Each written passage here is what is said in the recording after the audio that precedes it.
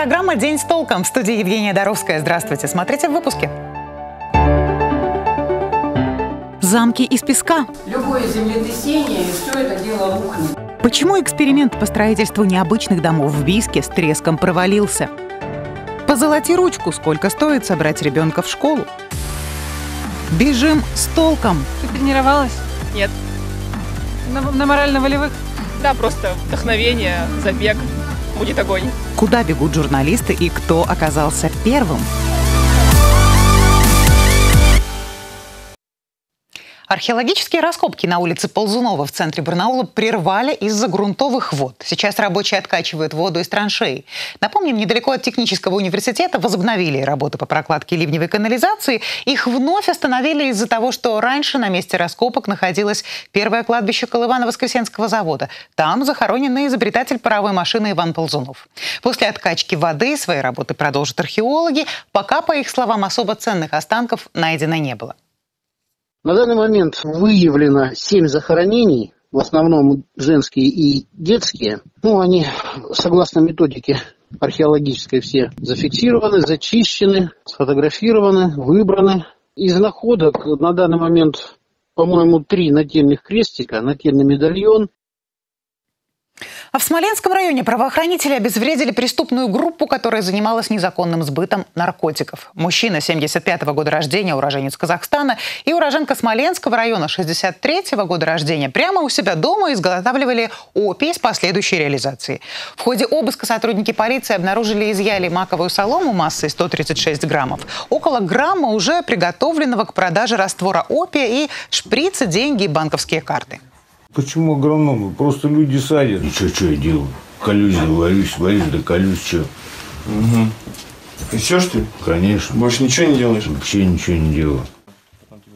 По каждому из фактов производства и сбыта наркотиков возбуждены уголовные дела. Подозреваемым грозит до 15 лет лишения свободы.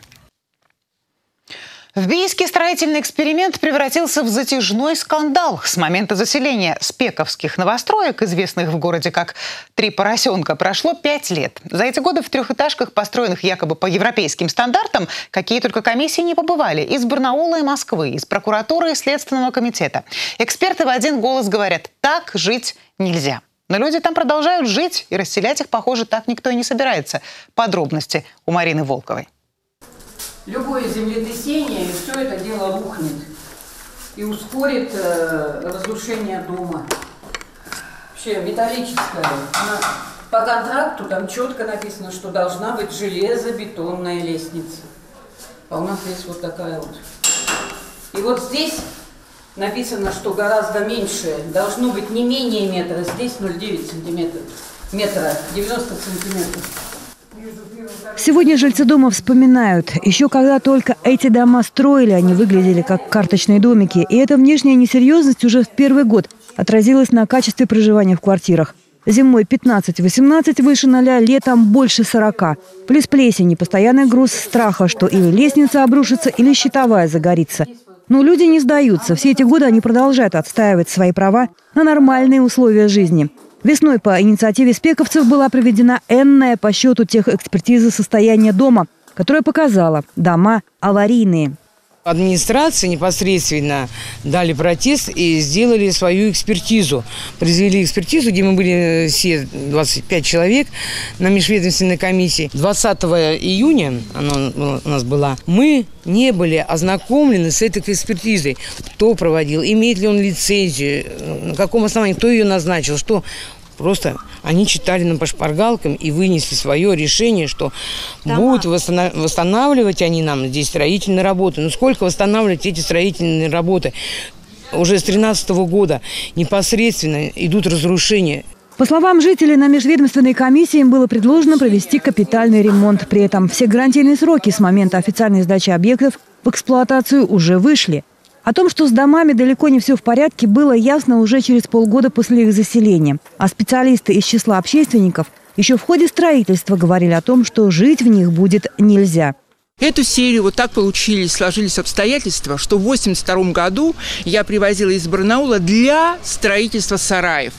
Которые производили в то время, э, значит, э, за территорией 257-258 зданием Сипривурмаша, это была территория химкомбината, э, завод минеральных удобрений, и это именно было для взрывоопасных, очень дешевый вариант, который категорически нельзя применять для строительства жилья.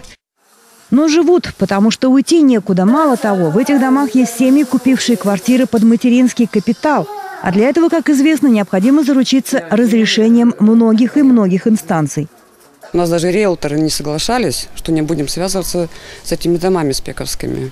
Но администрация у нас прямо одобрили за здравствуйте. У нас промерзает полностью стена, пол, ледяной у нас ледяной прям пол. Летом дышать нечем. Все, дети у меня в деревне старшие. Вот с этой маленькой мы стараемся либо выехать, либо уехать куда-то. Ну, к родственникам, к знакомым. О том, как выживают в своих квартирах, жители горе-европеек могут рассказывать часами. Наболело. Вариант капитального ремонта их не устраивает. Они намерены обращаться в Генпрокуратуру и дальше выше до Верховного суда. И это несмотря на то, что почти каждая из проживающих здесь семей в среднем на судебные издержки уже потратила до 100 тысяч рублей. Почему администрация Бийска приняла решение капитально ремонтировать эти дома вместо того, чтобы смириться с их аварийностью? Узнаем, когда получим ответ на официальный запрос, который мы направили уже сегодня. Марина Волкова, Андрей Сигаев. Ну а пока жители этого дома и Алтайского края в целом готовятся к новому учебному году. Осталось меньше месяца. Уже давно открыты школьные ярмарки, распродажи. Но, как замечают родители, несмотря на скидки, собрать ребенка в школу – дело затратное. Основная статья расходов – одежда и обувь. На школьную форму цены растут каждый год. Сейчас в среднем белая блузка стоит от 800 до 2000 рублей, туфли от 2000 рублей, рюкзаки дешевле полутора тысяч, не самого лучшего качества и могут быстро порваться. Но помимо одежды нужна канцелярия, аксессуары, спортивные принадлежности, наборы для творчества и кружков. Мы решили посчитать среднюю стоимость школьных принадлежностей и узнали, на чем можно сэкономить, а что и вовсе предоставляется школой школой бесплатно. Об этом наш корреспондент расскажет в студии в вечернем выпуске новостей. Не пропустите. Ну а пока позволяет погода, жители края ловят возможность, чтобы отдохнуть. В эти выходные наши коллеги уехали в горы, чтобы побегать. Редакция телеканала «Толк» приняла участие в горном забеге. Всего в Чемальский район на марафон приехало 150 участников, в их числе профессиональные спортсмены, сторонники здорового образа жизни и просто фанаты горных пейзажей. Дарья Эйде Миллер расскажет о маленьких победах наших корреспондентов над самими собой. Сегодня редакция телеканала «Толк» в Горном Алтае. Мы приехали в Чемал, чтобы поучаствовать в горном забеге. Давайте спросим у наших коллег, насколько боевой у них настрой. Ты тренировалась? Нет. На, на морально-волевых? Да, просто вдохновение, забег, будет огонь. Да, я за атмосферой, за эмоциями прибежал, собственно, не то чтобы мне сколько, сколько сам бег, сколько как бы так попробовать, ну и себя понять, что, что могу, что не могу. Пока не скомандовали старт, спросим у спортсменов, здрасте, как здрасте. настрой? Ну, будем стараться, боевой, работать будем. Сколько пробежать планируете? 21 километр, полумарафон, побежим. Что теперь, прятаться? Как есть, так есть. То есть это не обязательно надо быть спортсменом, там достаточно иметь желание и вот эту победу сделать над собой первую, приехав сюда. Дальше пройти дистанцию, уже откроются новые двери для новых побед. Я думаю, это очень важно в жизни каждого человека.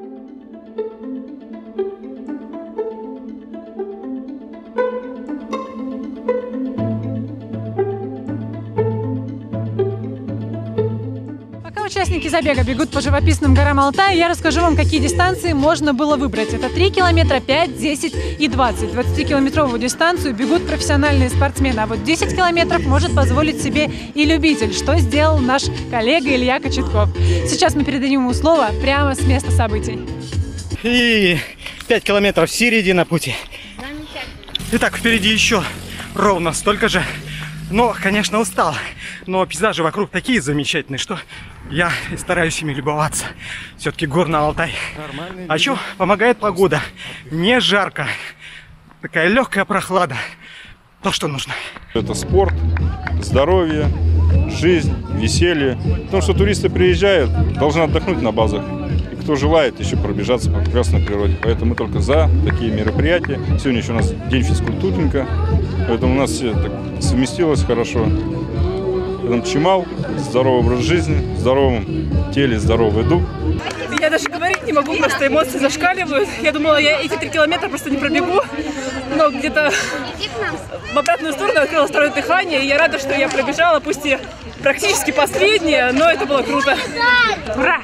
И финиш. Хоп. Ну и как оно?